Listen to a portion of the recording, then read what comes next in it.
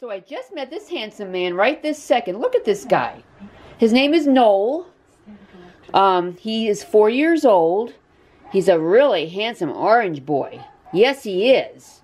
He came in just before Christmas. I guess I wanted to name him Noel, but being he's a male, they're calling him Noel. Anyway, whatever they call him, it doesn't matter because he's very, very cute. Hi, look at face.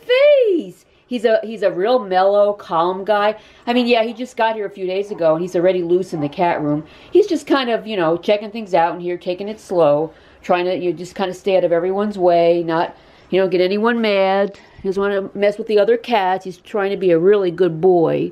And he's so, I keep giving everyone static electricity. I'm so sorry, Noel. Hey, buddy. Yeah, he doesn't like to look up too often. He's got like kind of little eyes. He's so cute and handsome. And you could just tell how mellow he is. Just look at him, just sitting here.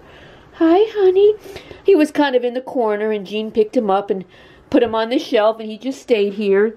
Let me see if I can get a look up so you can see his face a little bit. Isn't he cute? He's got such a cute face.